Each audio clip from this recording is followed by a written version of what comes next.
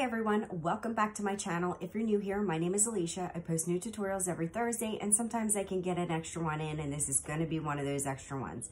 I primarily focus on tumbler tutorials, but I do some other uh, projects as well. So you can go ahead and check out my channel for different things that I do like pens and coasters and whatever. So I am working on a tutorial right now on this wine bottle tumbler.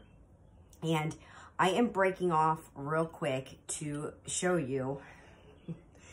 Look what happened. Isn't summer lovely? So I love summer, but this is the thing that I don't love about some summer is bugs. And so this guy got into my craft room and settled himself on this tumbler. So I figured this would be a good opportunity to show you when this happens, how to remove this and fix it. So if you're interested to see how to take care of this little bug problem we have here, stick around and I'm gonna go ahead and get started.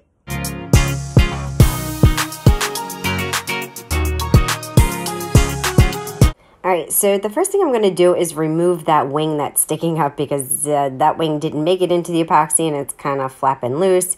Make sure you wear a protective mask and some eyeglasses or goggles because we're gonna be using this rotary tool to remove the bug from the tumbler epoxy. So it's gonna create a lot of dust. It works really well and I would recommend it over trying to use a sanding block because the bug is is in there pretty good. So after, you know, I get it out with this, you know, like I use the rotary tool, I clean it with 91% alcohol so that you can get an idea of whether or not you've gotten all the bug out because it starts to get hazy when you do this because you're scratching up the epoxy. And this uh, crane fly had ridiculously long legs, so I had to, and they're very, very super skinny. It was like pieces of hair.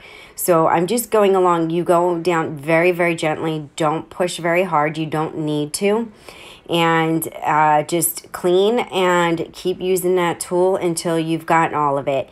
Just use it on its side, but I also like use it on an angle to kind of get like use the very end of it to kind of gouge down a little bit, but not too much. Again, I'm using super light pressure, and so it's really, you know, obviously you're not doing it, so it's really hard. Um, that's why I'm trying to explain it as best as I can. But um, you know, just keep wiping and keep getting that off. Now, this bug wasn't too deep. It was in this layer of epoxy. And so I was able to easily get it out without creating a lot of gouges in the epoxy. So it's a little uneven, but epoxy self-levels, so it's gonna it's gonna go over this nice and smooth. But uh, I clean it again with some alcohol and I just keep going back and forth. And so once I get done this, I'm going to show you that there is another bug that's um, deeper. It's underneath this layer and I didn't catch it before I put this one on. So I'm going to show you one that's kind of like on the surface, which is this one. And then I'm going to show you the next one. So after I get that done, um, so that sanding, that the, the rotary tool sanding um, thing is kind of rough. So I go in with like a 120 grit I, am not even sure, and a 220, a 120 and a 220 to smooth it out more to take out any bigger gouges because I want it to be smooth and I don't want those gouges to be shown under the epoxy. So it's going to get scuffed up, but that'll help, you know, that'll help smooth it out with the, you know, with the fine grit sandpaper. All right, so I think I finally gotten it all, legs and all, those stupid long legs, holy cow and it looks pretty good. So I am done with this. So it's out, not a lot of damage. So now I've got two other bugs and one is kind of a surface and another one is pretty deep. So again, I'm going to come in with my rotary tool and I'm going to get that little surface guy out and he was, oh, actually, I, you know what? I don't think that was, was that a surface one? I don't know. I actually had like three or four bugs on this cup, guys. Like, so what happened was, is I left, I forgot to turn my lamp off that I had over it um, when I was recording putting this coat of epoxy on and there just bugs got into my room and they all went and I even had it covered. They all went underneath the cover and just got stuck to my epoxy. So um, so it was just a hot mess because I fixed these spots showing you but then there was one other where there was legs just legs and it looked like hair that I had to get out. All right so this one I'm gonna dig deeper. So I'm gonna go through that first layer and then I've got to get down to the second layer. And so I have this other um, I actually have two of these rotary tools. That's how much I use it. So like when one's battery runs out I have another one that's charged up. So and I'm gonna link uh, this in the description box below. I don't represent them. I don't get paid for it, but I just, it's a tool that I found on Amazon that I absolutely love. Uh, so I'm going to use that fine tip to get deeper in there and kind of dig out the little net that was in there.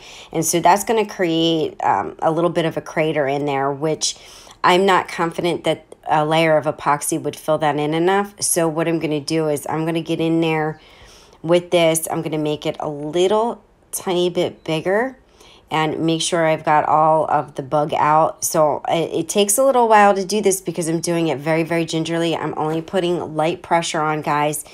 And even with the other tool, light, light pressure, I can't emphasize that enough because you can easily gouge it and you're just trying to get the bug out.